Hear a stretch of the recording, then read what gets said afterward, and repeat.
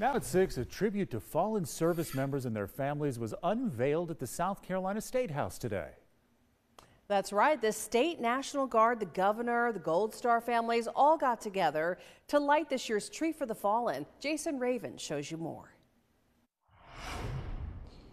Well, the holidays can be a difficult time for families of fallen service members here in South Carolina, but one small tribute here at the State House sends them a message that their lives will never be forgotten. We must also remember our Gold Star families, for they too have paid a price at the South Carolina State House, a tribute to those who paid the ultimate sacrifice.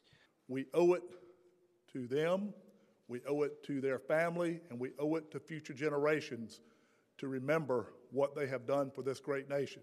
Gold Star families and organizations that support them got together at the State House Tuesday afternoon. They lit this Christmas tree known as the Tree for the Fallen. Now, the tree is put up by the South Carolina National Guard's Survivor Outreach Services and others. When these, these South Carolinians sign on that dotted line, they are hoping that they will come back, and they're also hoping that they will not be forgotten, and they're also hoping that their families will not be forgotten and will be honored.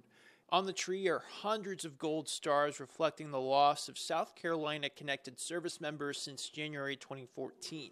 The hope is this tree can bring families some comfort this holiday season, knowing their loved ones will not be forgotten. Our fallen service members' names and stories are a true testament to who they were and their moral compass. That they chose to serve this beautiful nation speaks volumes about their character.